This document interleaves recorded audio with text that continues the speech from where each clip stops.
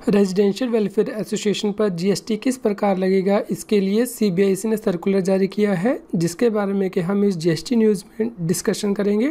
टैक्सील dot com के YouTube channel पर मैं सी एस सतबीर सिंह आपका स्वागत करता हूँ। रेगुलर अपडेट के लिए आप हमारे चैनल को सब्सक्राइब करें। नोटिफिकेशन बेल को प्रेस करना ना भूलें, ताकि जैसे ही हम कोई नया अपडेट डालें, आपके पास इमीडिएटली यह अपडेट पहुँच जाए। सीबीआईसी के द्वारा circular number hundred nine oblique twenty eight oblique two thousand nineteen G S T issue किया गया है on twenty second of July two thousand nineteen जिसमें कि सीबीआईसी ने क्लैरिफाई किया है कि यदि रेजिडेंशियल वेलफेयर एसोसिएशन अपने मेंबर से कोई सब्सक्रिप्शन या फिर कॉन्ट्रीब्यूशन लेती है तो उस केस में जीएसटी किस प्रकार लगेगा?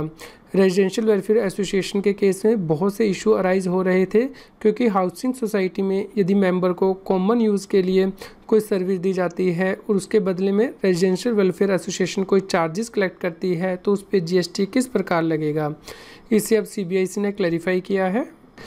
यदि किसी हाउसिंग सोसाइटी में रेजिडेंट रेजिडेंट वेलफेयर एसोसिएशन को मेंटेनेंस चार्जेस पे करते हैं तो क्या उसे जीएसटी से एग्जामेशन दी गई है?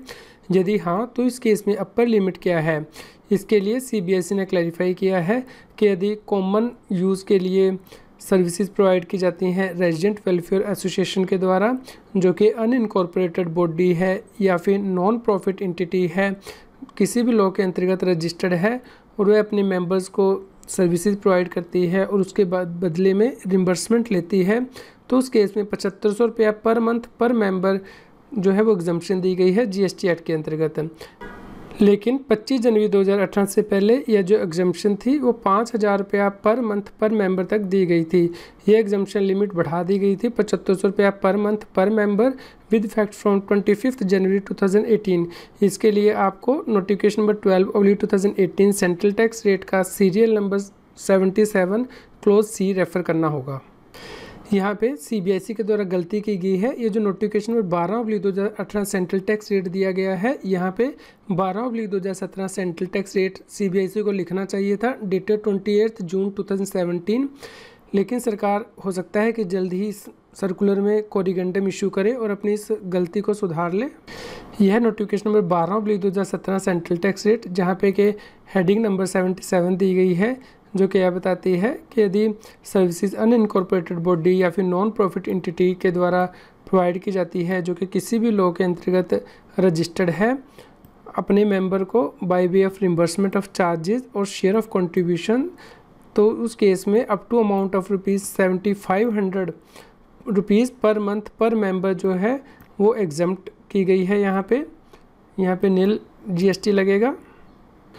दूसरा बहुत बड़ा क्लैरिफिकेशन यहाँ पे सीबीआईसी के द्वारा इशू किया गया है कि यदि रेजिडेंट वेलफेयर एसोसिएशन की एग्रीगेट टर्नओवर 20 लाख रुपया या फिर उससे कम है किसी फाइनेंशियल ईयर में, लेकिन वो जो मंथली कंट्रीब्यूशन लेती है मेंबर से, वो पचहत्तर रुपया पर मंथ पर मेंबर से ज़्यादा है मेंटेनेंस चार्जेज तो क्या उसे जीएसटी एक्ट के अंतर्गत रजिस्ट्रेशन लेनी होगी और इसके ऊपर जीएसटी पे करना होगा?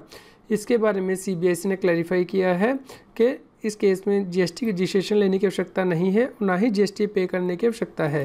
क्योंकि इस केस में aggregate turnover resident welfare association की 20 लाख रुपये से ज़्यादा नहीं है फाइनेंशियल ईयर में, इसलिए उसे जीएसटी एक्ट के अंतर्गत रजिस्ट्रेशन लेने की आवश्यकता नहीं है। भले ही जो अमाउंट जो है मेंटेनेंस चार्जेस का वो पचहत्तर सौ रुपया पर मंथ पर मेंबर से एक्सीड हो रहा है।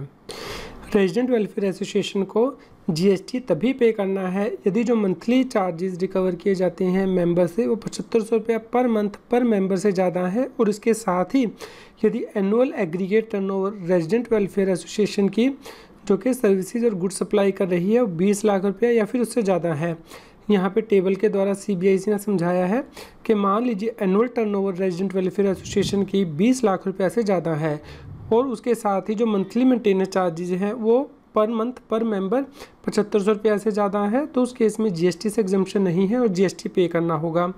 दूसरा केस है रेजिडेंट वेलफेयर एसोसिएशन की एनुअल टर्नओवर 20 लाख रुपया से ज़्यादा है, लेकिन जो monthly maintenance charges per month per member recover किए जाते हैं, वो पचहत्तर सौ रुपया या फिर उससे कम है।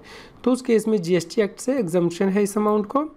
दूसरा केस है, यदि annual turnover resident welfare association की 20 लाख रुपया या फिर उससे कम है और उसके साथ ही जो monthly maintenance charges per month per member लिए जाते हैं, वो पचहत्तर सौ रुपया से ज़्यादा है। तो उस केस में भी जीएसटी एक्ट से एग्जम्पन है, इस अमाउंट पर जीएसटी नहीं लगेगा। इसके साथ ही यदि एनुअल टर्नओवर 20 लाख रुपया या फिर उससे कम है, लेकिन जो monthly maintenance charges per month per member से लिए जाते हैं, वो पचहत्तर सौ रुपया या फिर उससे कम है। तो उस केस में, इस केस में भी जीएसटी एक्ट से एग्जम्पन है तो उसके ऊपर जीएसटी नहीं लगेगा। इस प्रकार सीबीएसई ने यहाँ पे क्लैरिफाई कर दिया है कि रेजिडेंट वेलफेयर एसोसिएशन को जीएसटी पे करने के लिए दो कंडीशन को सेटिस्फाई करना होगा। एक तो जो मंथली सब्सक्रिप्शन है पर मंथ पर मेंबर वो पचहत्तर सौ रुपया से ज़्यादा होना चाहिए। दूसरा, जो उसकी एनुअल टर्नओवर 20 लाख रुपया से ज़्यादा होनी चाहिए, तभी उसे जीएसटी पे करना है। इसके अलावा इनपुट टैक्स क्रेडिट से रिलेटेड भी सी ने क्लैरिफिकेशन इशू किया है कि क्या रेजिडेंट वेलफेयर एसोसिएशन उन इनपुट और इनपुट सर्विसेज़ पर इनपुट टैक्स क्रेडिट ले सकता है, जो कि उस मेंबर को जो सर्विसेज़ सप्लाई की हैं, उसमें यूज़ की हैं। जहाँ पे कि जो मेंबर से कंट्रीब्यूशन लिया जा रहा है, वो पचहत्तर सौ रुपया पर मंथ पर मेंबर से ज़्यादा है। इस केस में सीबीएसई ने कहा है कि हाँ इस केस में resident welfare association input tax credit avail कर सकती है कैपिटल गुड्स का, जैसे कि generator water pump lawn furniture टेक्स्ट्रा goods का tap pipe other sanitary hardware filling टेक्स्ट्रा और इनपुट सर्विसेज़ का, जैसे कि रिपेयर एंड मेंटेनेंस सर्विसेज़ जो कि उसने सर्विसेज़ को सप्लाई करते हुए यूज़ की हैं। अगला क्लैरिफिकेशन भी बहुत ज़्यादा इंपॉर्टेंट है, जो कि सीबीआईसी ने इशू किया है, जहाँ पे कि क्वेश्चन था कि यदि किसी व्यक्ति के पास दो या फिर जो से ज़्यादा फ्लैट हैं, किसी हाउसिंग सोसाइटी में या फिर रेजिडेंशियल कॉम्प्लेक्स में तो उस केस में जो सीलिंग लिमिट दी गई है कि पचहत्तर सौ रुपया पर मंथ पर मेंबर जो है, वो जीएसटी से एग्जामेशन दी जाएगी। तो क्या वो हर रेजिडेंशियल अपार्टमेंट के लिए देखी जाएगी या फिर एक व्यक्ति के लिए देखी जाएगी? इस केस में सी ने कहा है कि जनरल बिज़नेस सेंस ये कहती है कि यदि किसी व्यक्ति के पास, दो या फिर दो से ज़्यादा रेजिडेंशियल अपार्टमेंट है, किसी हाउसिंग सोसाइटी में या फिर रेजिडेंशियल कॉम्प्लेक्स में तो उस केस में हर रेजिडेंशियल अपार्टमेंट के लिए वो रेजिडेंट वेलफेयर एसोसिएशन का मेंबर माना जाता है।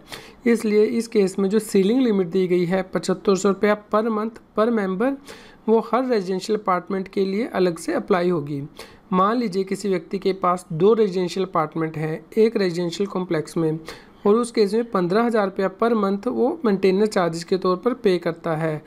इस प्रकार जो यहाँ पे जीएसटी से एग्जामेशन दी गई है रेजिडेंट वेलफेयर एसोसिएशन को पचहत्तर सौ रुपया पर मंथ पर मेंबर वो हर रेजिडेंशियल अपार्टमेंट के लिए अप्लाई होगी। इसलिए इस केस में व्यक्ति को इस अमाउंट पर जीएसटी से एग्जामेशन होगी। इसके बाद सबसे ज़्यादा इंपॉर्टेंट क्लैरिफिकेशन सीबीआईसी ने इशू किया है कि रेजिडेंट वेलफेयर एसोसिएशन के केस में जीएसटी पेबल किस प्रकार कैलकुलेट किया जाएगा? मेंटेनेंस चार्जेस पर। यदि पर मेंबर से पचहत्तर सौ रुपया पर मंथ से ज़्यादा का अमाउंट कलेक्ट किया जाता है। क्या जो जीएसटी पे किया जाएगा, वो सिर्फ़ उस अमाउंट पे पे किया जाएगा जो कि पचहत्तर सौ रुपया से ज़्यादा है या फिर पूरे अमाउंट के ऊपर पे किया जाएगा? इस केस में सीबीएसई ने क्लैरिफाई किया है कि जीएसटी से एग्जामेशन सिर्फ़ उसी मेंटेनेंस चार्जेस को दी गई है जो कि रेजिडेंट वेलफेयर एसोसिएशन के द्वारा रेजिडेंट से कलेक्ट की जाती है। जहाँ पे कि अमाउंट पचहत्तर सौ रुपया पर मंथ पर मेंबर से ज़्यादा एक्सीड नहीं होता है। यदि अमाउंट पचहत्तर सौ रुपया पर मंथ पर मेंबर से ज़्यादा हो जाता है तो उस केस में जीएसटी पूरे अमाउंट के ऊपर पे करना होगा।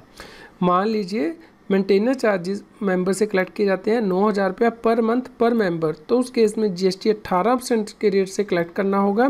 पूरे अमाउंट पर, यानी कि नौ हज़ार रुपये पर, ना कि नौ हज़ार माइनस पचहत्तर सौ, यानी कि पंद्रह सौ रुपये के ऊपर आपको जीएसटी नहीं पे करना है, बल्कि नौ हज़ार के ऊपर आपको जीएसटी कलेक्ट करना है और गवर्नमेंट को पे करना है।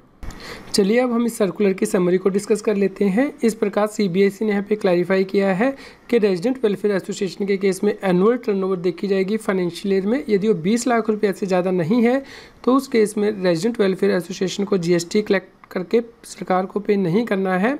भले ही मंथली कंट्रीब्यूशन मेंबर से पचहत्तर सौ रुपये पर मंथ पर मेंबर से ज़्यादा हो।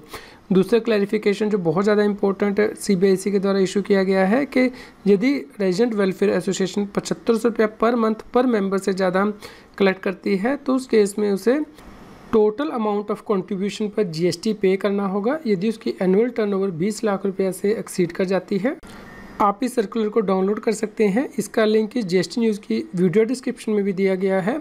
कृपया आप इस वीडियो को ज़्यादा से ज़्यादा लोगों तक पहुँचाएँ ताकि वो जी एक्ट के अंतर्गत कंप्लायंस कर सकें। आज की जीएसटी की न्यूज़ आपकी, आपको कैसी लगी, इसके बारे में हमें बताएँ। लाइक करें और शेयर करें। जितना अधिक आप लाइक करते हैं और शेयर करते हैं, उतनी ही अधिक हमें प्रेरणा मिलती है कि हम और भी अधिक अच्छी जीएसटी की न्यूज़ आप तक पहुँचा पाएँ। जीएसटी टैक्स और फाइनेंस के रेगुलर अपडेट के लिए आप टैक्सील की मोबाइल ऐप को गूगल प्ले स्टोर से डाउनलोड कर सकते हैं। इसका लिंक इस वीडियो के डिस्क्रिप्शन में भी दिया गया है। यदि आप टैक्स के बारे में और अधिक जानकारी चाहते हैं तो हमारे यूट्यूब चैनल की प्लेलिस्ट को रेफ़र कर सकते हैं। यहाँ पे टॉपिक वाइज वीडियो दिए गए हैं, जिन्हें कि आप रेफ़र कर सकते हैं।